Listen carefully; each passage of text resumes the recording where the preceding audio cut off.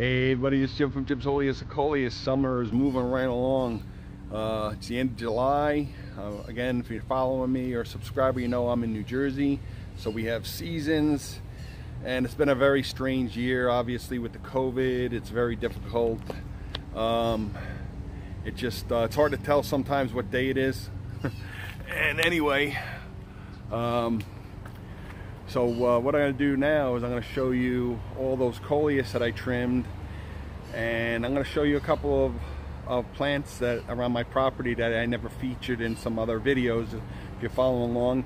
And we'll take a stroll through the my multi-season garden. You'll be surprised. So stay tuned. You'll be so surprised to see how well it flowered. I gave it a good shot of Miracle-Gro and you'll be so excited, uh, so so uh, amazed at how quickly how how it's flowered and how beautiful everything looks. And I'm going to show you a couple of plants around the front of my property, which I never showed you. So, including some Montauk daisies, some mature Montauk daisies. So, let's go and take a look. It's the magical time of the year, summer. Uh, I don't know. It's uh, the end of July, and um, I don't want to say it's the end of summer. It just feels like it in a way. Um, perhaps because of uh, the COVID restrictions and how the summer has been so different this year. Um, it just seems to make the days um, kind of meld into one another. Uh, but anyway, um, this is one of my uh, favorites that's um, that's just really really taken off so well. And as you can see and this is the one we trimmed a week, a week and a half ago. And as you can see it already needs some trimming.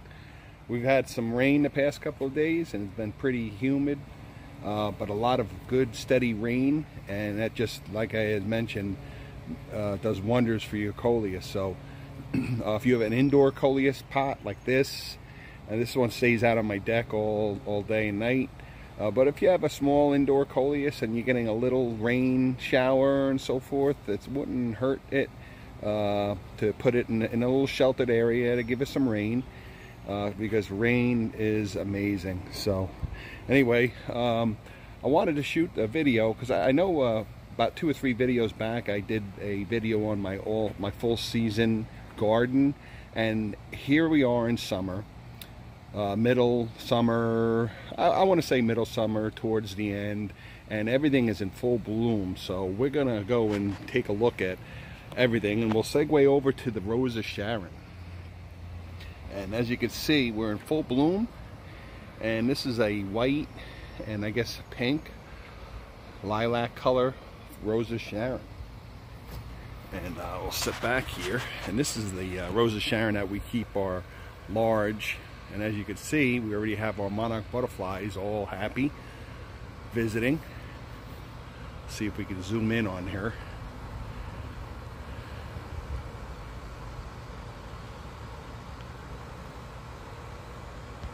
We got a beautiful monarch butterfly visiting and pollinating our Rose of Sharon.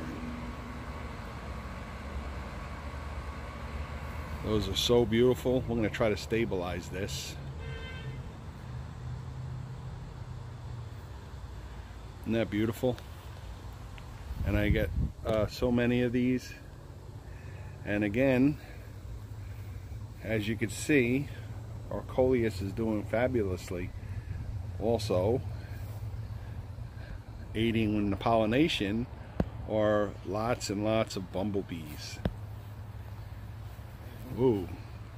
They get a little angry when I get close they're a little camera shy. So anyway um whoop, here we go. Um, I got a few. And again I had mentioned in the, in the earlier videos this is pretty much um, an ideal place to keep a good coleus. If you want to boost your coleus or whatever, or if you want to grow fabulous coleus, this is what I, again, I mentioned, consider fabulous. Just really, really ideal conditions for coleus.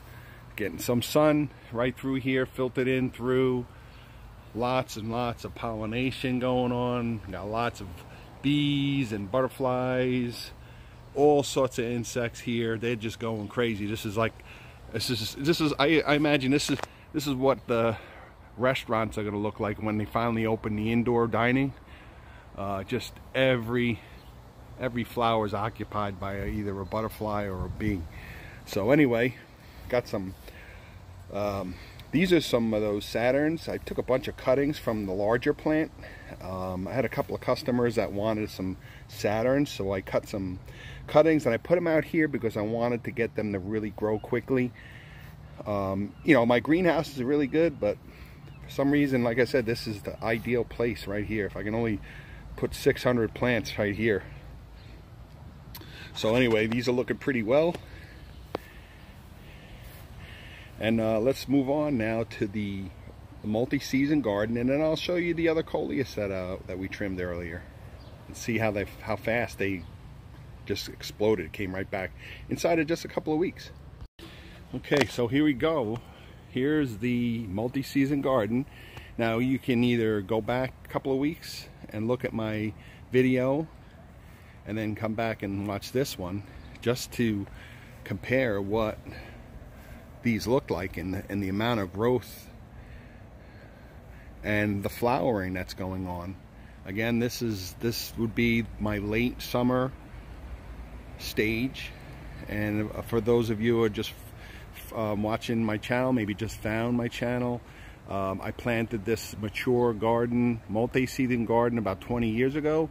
Basically, my overall plan was to uh, plant a variety of different plants which flower at each season. Here we are in New Jersey, so we have uh, uh, winter, spring, summer, fall, and we get flowers from late winter straight through late fall and as you can see, we got sunflowers coming in. The butterfly bushes are in full bloom. I have a pink and a white. The white is an absolute monster.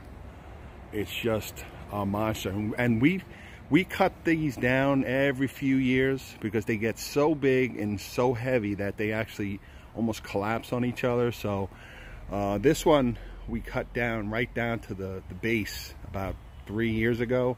So it's slowly coming back, but it's, you know, we maybe cut too much of it, but actually one part of it died and it just split. So uh, it was sort of a, a quasi necessity, that's uh, such a thing. So uh, the cactus is done blooming. I have another potted coleus hanging basket I just throw here. Some ribbon grass and some little butterflies. Again, these butterfly bushes are fabulous. I mean, they attract everything. Uh, dragonflies, butterflies, hummingbirds, you name it. Got some marigolds. And these we cut back. If you look, these were more round and really overgrown. So we trimmed these back because they were just overgrowing. And now they're starting to get the flowers. Uh, I just put these in. These are um, these are black eye Susans. These are perennials. They come back every year, and they're great summer perennials. Beautiful black eye Susans, and there's a monster, monster sunflower, and we're just starting to get the sunflower head to form. So we still got a lot of time for this. And of course, the weeping cherry cherry tree that's going to need a little trimming soon this flowers early spring and the petals only last a few days a week maybe. Again during the spring early spring and so forth I have daffodils and tulips all coming up here. They're gone now. One thing with daffodils and tulips once the heads die do not cut the stems. Let them die naturally. Let them die naturally because all that energy goes back into the bulb. So you want to enjoy the flower, let them die, let the stem die, and then cut it. Don't cut. Don't cut it the minute the head dies. Don't cut. Uh, you're gonna. It's not healthy for the bulb. So um, tulips, daffodils. I got tons of daffodils in here. And the Shasta daisies. Now the Shasta daisies are on their way out. They've flowered. Can see, this is left over. If you want to collect the seeds, this is where your seeds would be. I don't. I have so many. And here are the giant hibiscus. Giant hibiscus plants, as you can see. They're pretty big. And I still have plenty more to um, bloom. Actually, I cut a lot of this back because it was just overgrowing everything here. So, um, and in the front of my house, I have some Montauk daisies. I didn't show them last time, and I said I would. So I'm going to go over and show you those. Montauk daisies are similar to Shasta daisies, difference being they bloom late in the fall or fall, depending on, on where you plant them, but they generally plant, they generally are perennials and they come, they flower in the fall. And inside my greenhouse, I have just a few plants. I have, you know, I sold a lot of plants. I have uh, a few hanging baskets and some uh, few hanging baskets left on the bottom, a couple of smaller ornamental pots and so forth. A lot of these I'll give away. I'll probably, I'm gonna have one more sale. So, okay, let's go take a look at the other coleus on my property. Okay, so here's one of my other. Now this is uh, one of the same that I had uh, in the previous video where we trimmed a whole bunch and look, it just comes screaming back. So this is proof. Don't be afraid to trim your coleus because they'll come back. And you just, uh, you can see I have a little of everything here. I just make sure I top off some of the bottom, you know, the top pieces, some of the larger leaves. Make sure those jitters down there get light Got the Defiance over here.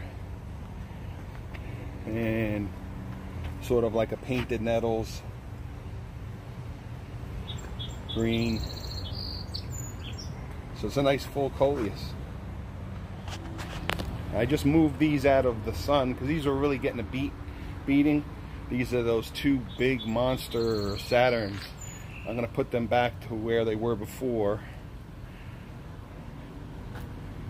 and I'll show you exactly where I keep them. So in the summer, I mean in the in the uh, mornings during the summertime, where I keep these, which I'll show you in a minute, gets a lot of direct sun, and these wilt really quickly. So I, I usually move them over here in the morning. Uh, they're not that heavy, and uh, it just gives them a little bit of a break because they do wilt completely down. So I just have to water them and they pop right back. But these are two fabulous Saturns So let's go move them to where they are supposed to be. Okay, so this is generally where I keep them.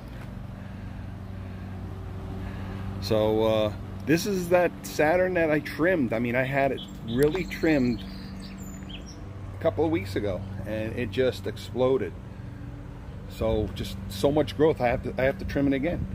So um, it, it, it is. Uh, here's proof that trimming your coleus is very healthy and it really makes a big difference.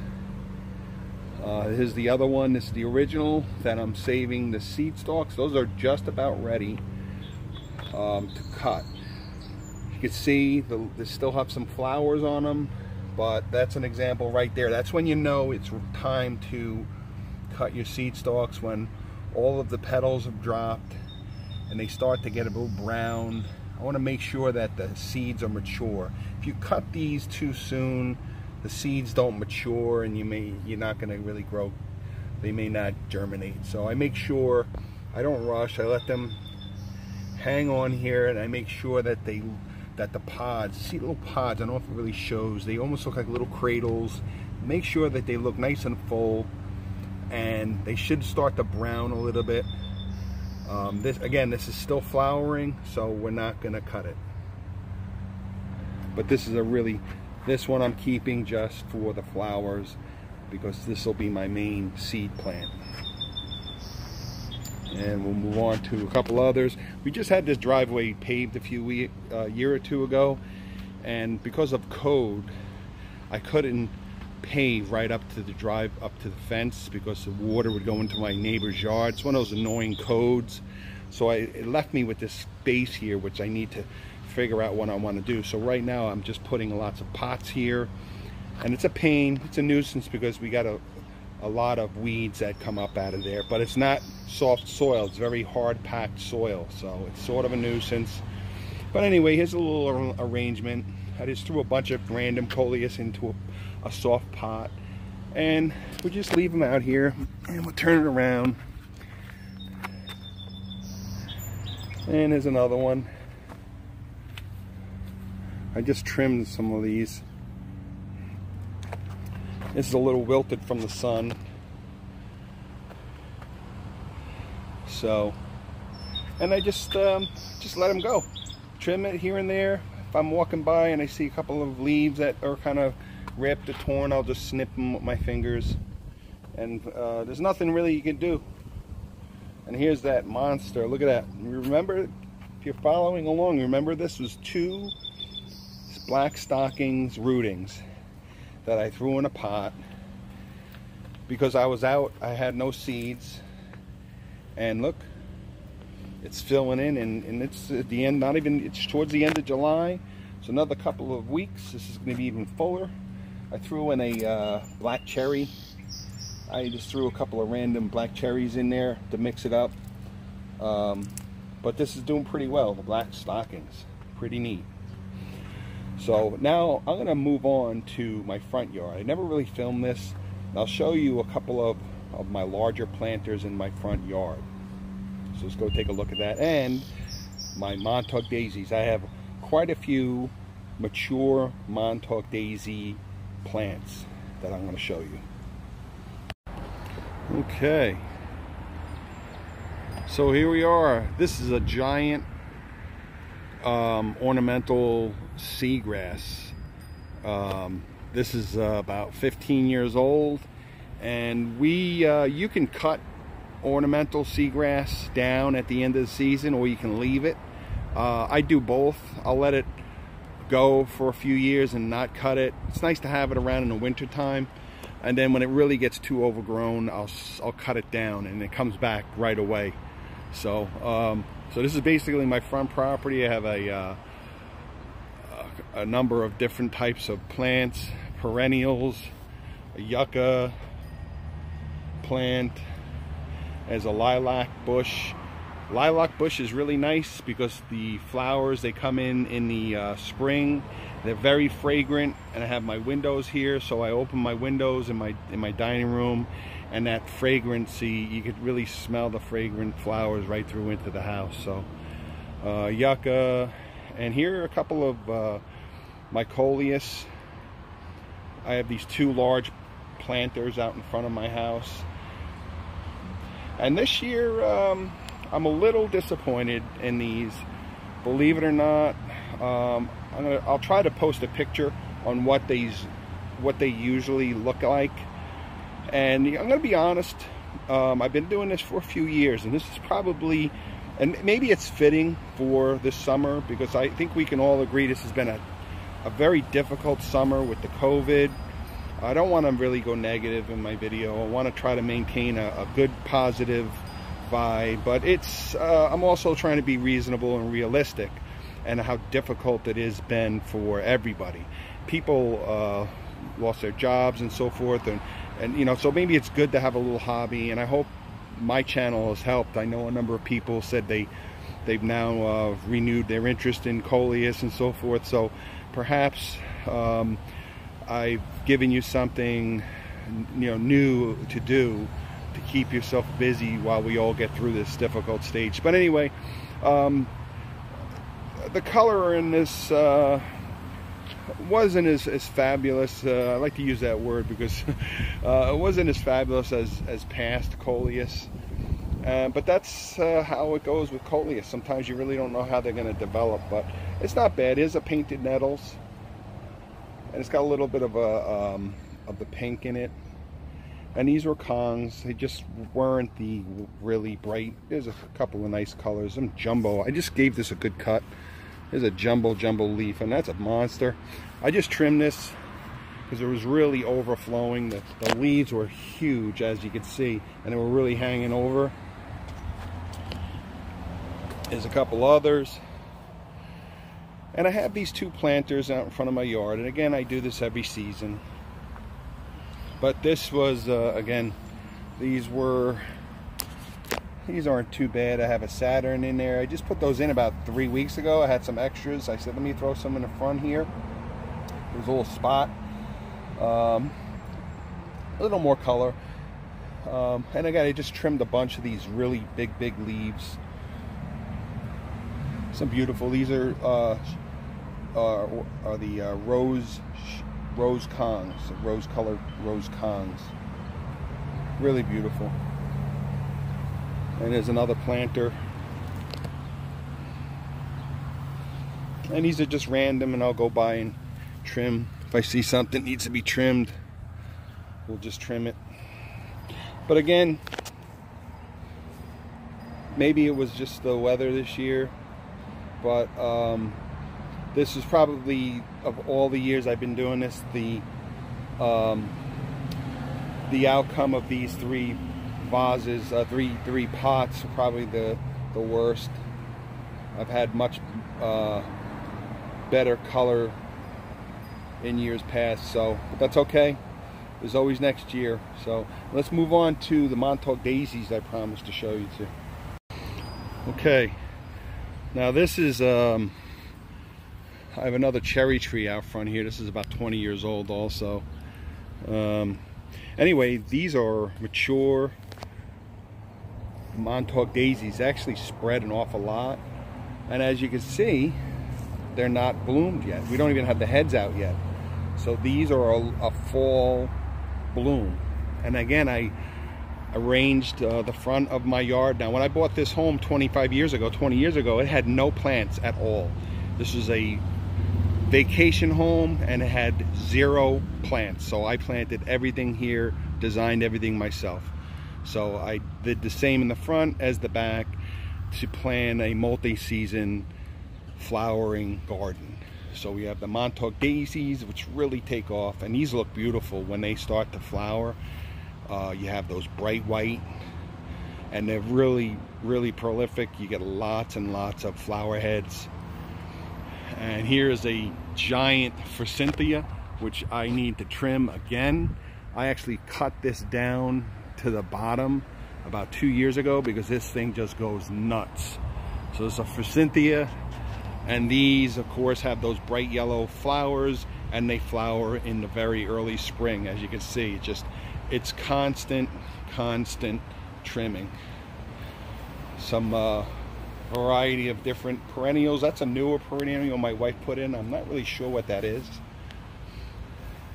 We have uh, some yuccas. And of course over here a whole bunch of Shasta daisies, which as I had mentioned, they flower in the summer. And as you can see, they're still flowering, but they're pretty much at the end of their flowering cycle. I don't cut these back. I wait until they're completely dead and then of course they're perennials, they come back. Uh, one thing I like to do is I like to repurpose things and came across this out in the garbage about I want to say five six years ago and it was just a kid's toy. Was obviously an old red flyer wagon. It was it was shot. So rather than let it sit, I took it and filled it with potting soil, and we put different flowers in it. These are sombrero daisies. And uh, that's what I do. Every year we put a little different, and you know, in the spring we'll put um, impatiens or whatever because it's under a maple tree so it's a lot of shade here sombrero daisies they almost look fake which is the opposite. Usually fake stuff looks really new but these are really nice looking daisies. Okay so I hope you enjoyed that little tour. As we um, start to wind down um, the coleus season. Uh, not really wind it down, really wind, I wind down the the growing season. Now I'm really maintaining it. I'm, I'm always looking ahead at what I'm, what I'm gonna be doing next. So I'm really gearing myself up to keeping these healthy, keeping them trimmed, and planning out what I want to do, which ones I want to turn to seed, and deciding on when exactly to let the seed stalks to develop. I'm going to still let them go. Every year is a little different. Things get warmer here. our winters are starting much later now. I mean, sometimes winter doesn't really start to set in until like November, where we get the actual cold, cold weather. So basically, we could still get a, a good three months of, of good coleus growing. So um, that's not bad. That's a nice long season. So, uh, so we'll just keep doing what we're doing. Um, I gave these a shot of Miracle-Gro about, I guess about a week ago. So probably this week I'm going to give it another shot. Uh, like 10 days, every 10 days I use the Miracle-Gro. I have the hose attachment feeder and it really does, like I said, I recommend using that if you can. If not, if you don't really want to fuss around with that, you can use time release fertilizer pellets. You can buy them in the store. Just get basic plant food, general purpose plant food and uh, you can hear up ahead, oh, again, I'm by the Jersey Shore, so we get those banners. We get those uh, flying advertising banners. Um, they head out to the ocean and then they, uh, they fly back and forth with the uh, little advertisements. So uh, anyway, um, so we're gonna keep doing our trimming. We're gonna keep uh, making sure we trim off those top leaves. Everything is pretty much at the height I want it, so we're not letting it grow any higher. Anything that grows at this point now generally seems like it's gonna be seed stalks, so we're trimming those down. And um, so if you're in New Jersey or in, in my growth zone, you can basically apply this to your coleus. And uh, I know over on the other side of the world, there we go, another uh, plane. They all decided to fly over my home because I'm videotaping here. So anyway, uh, if you're on the other side of the world, you're, you're going to be going into spring, so you can check out some of my early videos from when it was spring here in New Jersey, and you can apply it to your coleus on germinating seeds, uh, what, what I use to seed, uh, plant my Jiffy pods and so forth. So, all right, so we'll, uh, we'll shoot another video in another week. Uh, those of you who are following, uh, who are um, visiting New Jersey, New Jersey Shore area, I have probably another couple of weeks left at the Bay Head Farmers Market. So if you're around, that's th this Thursday. Thursday, um, I'll be at the Bay Head Farmers Market again about 1, 1 to 5 p.m. So um, thanks for following along, everybody. And enjoy your coleus. And please give me a comment, pass my channel along and we'll talk to you soon. Take care, everybody. Jim from Jim's Wholiest Coleus.